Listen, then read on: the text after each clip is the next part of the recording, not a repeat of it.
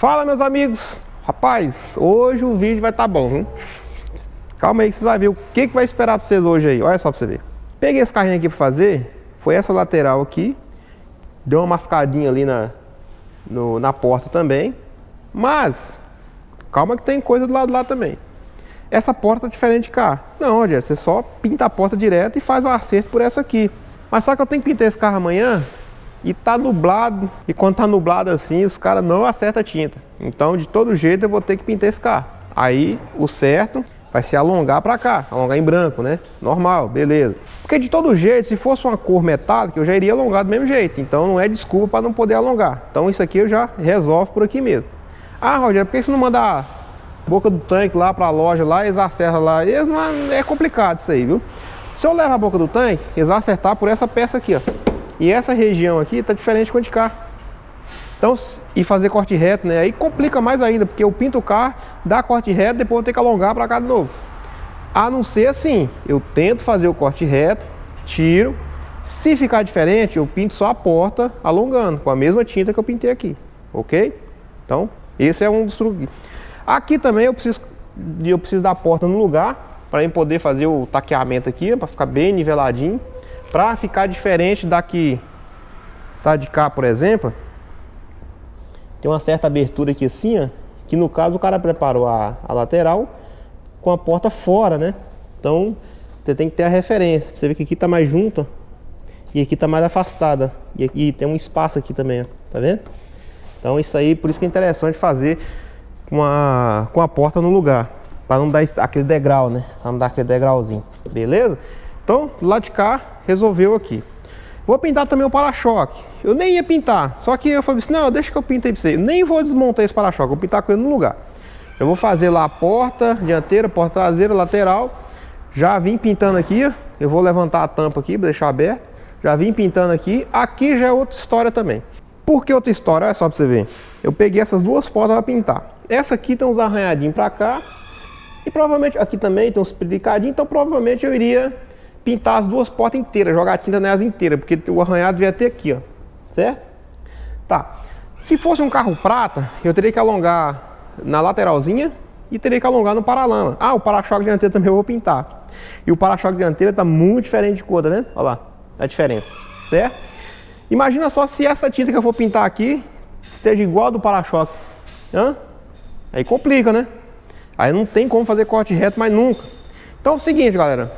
Eu vou pintar as duas portas inteiras. Pintar inteira, jogar tinta nelas inteiras. Ó, aqui também tem uma diferencinha, tá vendo? Ó o outro BO aí também, ó. Tá vendo? Diferencinha? Então, ou seja, olha só, o capu também. Se você olhando aqui, ó, o capu, para-choque e a porta tá diferente daqui, ó. Eles estão iguais, né? Olha só pra você ver, aqui tá mais um pouquinho escuro, depois tem um pouquinho de preto, ó porta, capu e para-choque tá com a tinta igual. Só o paralama que tá claro. Dá para perceber direitinho. Só o paralama que tá claro. Então se eu pinto essa porta aqui, ó, e ela vai ficar diferente do mesmo jeito. Se fosse uma cor prata, cara, eu teria que alongar na porta de lá, pintar, ah, ó, vamos lá. Então é o seguinte, ó, essa porta vai ser um alongamento, vou, vou né, essa aqui vai ser pintura geral, vou pintar ela. Lateralzinho também vai pintar, vou matar por aqui assim, normal aqui, matar por aqui, certo? O para-choque eu nem vou tirar ele, vou pintar até no lugar mesmo, que é só essa parte de cima aqui, ó. Mas aí eu já dou uma, uma mãozinha de tinta nele, já, já pinto tudo aqui. Então, aqui essa lateral, ela não tá paga para pintar, mas para me ajudar na diferença de cor, para mim já matar isso de uma vez, eu já vou pintar ela também. Essa porta já vai pintar toda, essa aqui também já vai pintar toda. E para ajudar também na diferença de cor do para-choque, eu também já vou pintar esse paralama, entendeu? Então, ou seja, eu vou meio que rodear o carro aqui, ó. Meio que rodear o carro. Bom, aí você me diz bem assim, Rogério, mas você vai pintar o carro do meio inteiro, você pegou, sei lá, uma, duas, três, quatro, cinco peças, vai pintar o carro do meio quase inteiro. Cara, se fosse uma cor metálica, um prata global, por exemplo, apesar que prata global hoje tá, tá bem, né? Ele é bom de acerto de cor. Mas mesmo assim, se fosse um, um prata sumite, ou se fosse uma, um tricote, né, né? Você iria fazer isso do mesmo jeito, certo? Então, para ajudar, que o tempo não está ajudando também, não está saindo sol nem nada, apesar que não precisa de sol para acertar branco, mas a desculpa deles é que precisa, então vamos lá então, né? Aí você fala assim, não, mas aí você vai pintar o carro da manhã inteira? Não, galera, você ia fazer isso de todo jeito. Olha só pra você ver. É, aqui, ó, se fosse um tricote, por exemplo, a porta de cara já iria alongar. Se não tivesse essa diferença aqui, ó, nem precisaria alongar. Porque eu já aproveitava a própria peça aqui para fazer o alongamento. Então, ó, você vai alongar naquela de lá, vai pintar essa aqui, pintar essa, vai pintar o para-choque. É só mais ou menos a região de cima aqui, ó, né? A lateralzinha é pequenininha também, não vai fazer diferença nenhuma. Já pinta aqui, eles vai pintar também. Aqui é opcional. Se a cor ficar mais ou menos parecida com a, com a do paralama aqui, ó, até tudo bem, certo? Apesar que aqui também tá diferente, né? Você vai gastar sim um pouquinho de tinta e de verniz, né? E para empapelar. Mas galera, você vai matar. Você não vai ter problema mais diferença de cor, o carro não vai voltar. Isso é opcional. Tô dando uma dica aqui, ó. Você pode fazer isso que eu tô fazendo, que eu vou fazer. Ou então você pode arriscar, pode matar corte reto ali no paralama, mata corte reto aqui, entendeu? De cá também, ó. De cá também, você pode pegar, fazer o acerto por aqui mesmo, né? E mata aqui, ó, faz corte reto e tal, entendeu? Mas rapaz, tem um detalhezinho aqui, ó. É. Fizeram um retoque ali, mas ficou meio manchado, né? Agora você pode fazer de outra maneira também. Olha só pra você ver. Esse aqui, que branco é esse? Eu acho que é o branco polar. Bom, galera, consultei ali o Arnaldo. Esse aqui, ó, é o branco ártico, né? Branco ártico. Branco geado é outro, tá achando que era branco geado, mas é não. Então é o seguinte, você pode fazer o seguinte, é, é o que eu vou fazer aqui, ó. Pra evitar de, de precisar da loja de tinta, vir fazer o acerto e tal. Sabe que é, é meio enrolado esse povo. É difícil, cara, você ter uma loja que faz os acertos direitinho que é o diferencial. Se tiver uma loja de tinta que faz os acertos direitinho, cara, é... nossa. Quanto, mais, quanto menos dor de cabeça o pintor tiver, mais crédito tem a loja de tinta, entendeu? Isso aí é batata. Então aqui, ó, aqui eu vou gastar 2 litros. Eu não vou gastar, eu não gasto um litro para pintar esse carro. Olha só, uma banda dessa aqui, os dois para-choque, então, ou seja, é, e branco também é um preço bom. Branco, branco é muito caro. Branco, branco e preto é sempre bom ter na oficina, porque você pode fazer uma base mais escura, uma base mais clara. Por exemplo, se tivesse o branco do golzinho lá, eu posso jogar de base aqui, ó. Então, mas só que eu já usei, eu pintei um para-choque ali e usei o resto lá de branco. Então, praticamente não tem branco ali. O que, que eu vou fazer? Eu vou comprar 3 litros de branco ártico, mas são 3 litros de três marcas diferentes, entendeu? Comprar uma lá da, da PPG, uma da Lazuri, uma da Sky, vou comprar aí, vou comprar três marcas. Então eu vou fazer três chapinhas. Essas três chapinhas eu vou comparar aqui, ó. Na peça que não vai pintar, que seria aqui o paralama, certo? Então a tinta que ficar boa nesse paralama aqui, ó, é a que eu vou pintar beirando ela, entendeu? Beirando ela aqui, ó. Aqui tá igual, ou seja, também a tinta que ficar boa aqui, ó, beirando essa porta aqui, ó, Posso, aí eu posso pintar corte reto. Ou aproximar, né? A tinta que estiver mais aproximada no carro com a peça que não vai pintar, é a tinta que eu vou jogar por último no carro. Ou que eu vou jogar beirando aqui, né? Beirando essa peça aqui, ó. Certo? É, então vai ser isso. Eu vou comprar três tintas pronta de marca diferente e vou ver qual que aproxima melhor. Certinho? Galera, agora é o seguinte, o procedimento aqui agora, antes de começar, seria a limpeza da peça, mas não precisa limpar o carro inteirinho, entendeu? Não precisa ficar limpando tudo, por quê? Porque você vai lavar de novo, na verdade você vai lavar esse carro o carro se lava três vezes. A primeira lavagem que se faz no carro é só para tirar o excesso mesmo, igual aqui, por exemplo. Como é que eu vou começar a preparar um carro dessa situação? Você pode até jogar primer, né? Você limpa aqui, joga um primerzinho, isola aqui. Mas quando for do primer para pintura, tem que limpar aqui, né, galera? Apesar que eu vou empapelar aqui, né? Só o para-choque. Vou empapelar aqui nesse calafete aqui assim, certo? Vou abrir a tampa, deixar com a tampa aberta. Mas onde você vai reparar que assim você tem que dar uma limpada, você tem que limpar, entendeu? Que assim, ó, tem que limpar a peça, tem que conferir. Pega uma caneta e vai conferir nas morcinhas, os detalhezinhos que tem, antes de começar. Esse aqui eu não sei se vai dar tempo, eu vou ver aqui no vídeo se vai dar tempo de fazer não. Mas olha só pra você ver. Aqui nós vamos ter que reparar aqui, ó. É, com a porta no lugar, as duas no lugar, né? E ela fixa com a borracha, né? E lembrando também, galera, que o branco ele é bem encardido, então você vai ter que jogar um produto aí para dar uma desencardida. Você poderia muito bem também, é, antes de, de fazer a funilaria, desmontar o carro primeiro. Aí você lavava o carro inteirinho e depois começava a funilaria. Mas aí, cada um é. Se fosse numa oficina que seria dividida em setor, o funileiro não vai lavar carro. Ele não lava carro. Né? Não lava. Não vem que não tem que não lava. O funileiro não, não lava carro. Ele simplesmente, ele, se fosse uma oficina produtiva, né? Ele pegaria o carro já desmontado.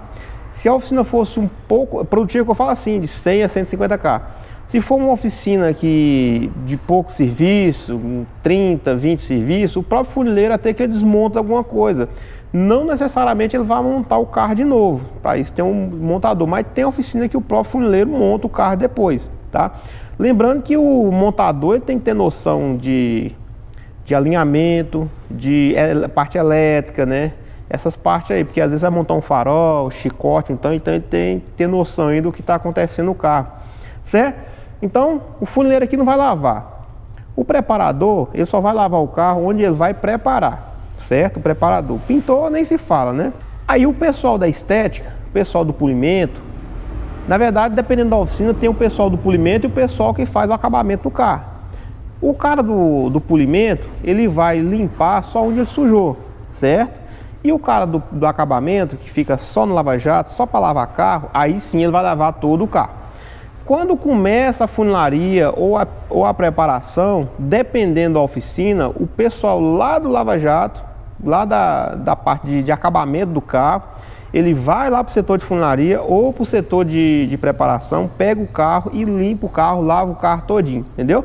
Mas não lava também para ficar 100%, porque ele vai ter que lavar de novo. Então, um carro na oficina, ele passa por um processo aí de umas três lavagens mais ou menos. Lava o carro para preparar, dependendo do pintor, dependendo do serviço, ele vai ter que lavar o carro de novo para poder ir para a gabine e depois da gabine vai para setor de estética e, e acabamento para poder finalizar o carro para entregar para o cliente. Então passa aí mais ou menos umas três lavagens o carro, certo? No nosso caso aqui, como a gente é uma oficina pequena, passa aqui em torno de 20 carros mais ou menos por mês, né? Não dá para passar mais, mas não passa mais por causa do espaço, que o espaço é pequeno, certo? Então aqui a gente meio que tem que fazer de tudo um pouco, né? Por exemplo, aqui eu mesmo fiz a funilaria. Né? A desmontagem aqui eu não desmontei porque o, Ju, o Juninho desmonta pra gente, a gente terceiriza a desmontagem, né? A gente terceiriza também a funilaria, mas esse aqui eu resolvi eu mesmo fazer, porque eu peguei esse mais ou menos com um precinho mais bacana. Então eu mesmo quis fazer a funilaria. Também não estava tão difícil assim, né? Vocês viram aí no vídeo, certo? Então aqui a gente faz de tudo, eu só não vou montar, desmontar e montar esse carro. Mas o polimento, o acabamento, então eu poderia muito bem já lavar o carro duas etapas aqui, por exemplo, lavar o carro agora, Aliás, lavar não, é deixar do jeito que está aqui. Lá, é, quando eu estiver no ponto de ir para a eu lavo ele e deixo para empapelar no outro dia, certo? Tipo aqui, por exemplo, eu lixei o prime todinho. Aí fica meio pó, entra pó lá dentro e sujeira e tal. Aí eu vou e lavo o carro, deixo o carro limpinho. Aí no outro dia ou depois de algum tempo eu começo a empapelar o carro. Aí, meu amigo, o carro já sai da gabine praticamente limpinho. Depois eu faço o polimento e depois faço só uma lavagem final, certo? Isso para quem trabalha sozinho, né? É, fazer o quê? Bom, galera, então, ó, chegando por aqui, esse vídeo vai ser mais ou menos curto. Para quem está começando agora no ramo de pintura automotiva, essas informações, cara, é fundamental. Nossa, você não tem noção de quantas informações vale ouro, certo? Do que eu falei aqui e tal. Para quem já está no ramo, acha que isso aqui é, é, coisa, não, isso aí é óbvio, que não sei o que, cara, então não é esse vídeo para você, né? Então você vai ter que assistir outro tipo de vídeo, tá bom? E no canal aqui pode ter vídeo aí que você está procurando, mas para quem está começando, é isso aí. Então, esse vídeo aqui foi mais um vídeo informativo para explicar aí o procedimento, porque cada carro é um. Você pega esse carro aqui, ó, você vê, teve essa situação da, da diferença de cor. Você pega esse aqui também, já é outra situação né? que mais? Esse aqui também já é outra situação, ó. o cliente chegou ontem aí, ele vai viajar amanhã, então já comprou o para-choque, eu já pintei ontem, hoje já vai montar. Eu tinha uma tinta ali, né, que é o branco banchisa. É outra situação esse aqui. Esse aqui que o Arnaldo tá fazendo também é outra situação. Isso aqui é um tricoat, ó. Isso aqui é um C4 Loud. Tá vendo? Isso aqui é um tricoat, ó. Aqui vai pintar o, os dois para-choques e essa, esse lado de cá inteiro. Aqui para você ver, ó. Dependendo da oficina, eu já vi, cara. Dependendo da oficina, eles matariam o retoque. Tipo assim, ó, mataria aqui, né? E, aliás, perdão. É, empapelaria só até aqui, pintava o paralama e matar o retoque aqui assim, ó. Cara, já faz o trem direitinho, já faz o trem tudo certinho lá pra você ver, ó. Já fica o trem todo emendado, todo bonitinho e tricote, né? Pra cá não vai precisar jogar tinta, só o verniz mesmo, certo? Isso aqui daria um vídeo bom também, galera. De empapelamento. Daria um vídeo bem bacana. Mas isso aí deixa pros próximos, né? Aqui o que ela vai fazer aqui? Ah, ela vai emborrachar. É, ela joga um emborrachamentozinho aqui, ó. É. Top. Tá vendo?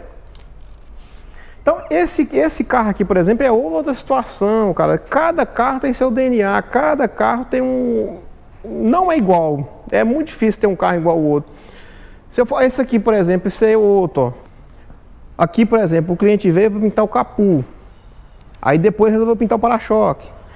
Aí não sei, às vezes aqui, ó, você já pode pegar aqui também o farolzinho. Essa cor aqui. É, não sei se o Arnaldo vai alongar aqui. Não sei.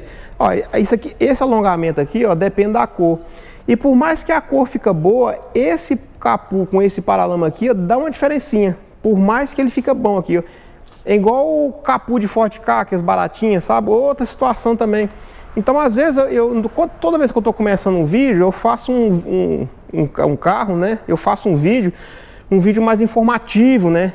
Por quê? Falar de orçamento, falar de peça, falar de, de igual essa situação da cor aqui, né? É, que mais?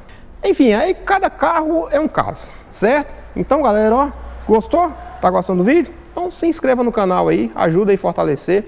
Olha só pra você ver, ó. Aqui, ó, tá aparecendo duas, dois vídeos, né? Dois vídeos aqui assim, ó. Clica neles para ver os vídeos anteriores aqui. Aqui tem uma lojinha, se você quiser ajudar o canal, certo? Que está te ajudando, então você ajuda. Clica aqui na lojinha, vai lá sim, ou se inscreva no canal aqui. Fechou? Beleza? Tamo junto? Até o próximo vídeo.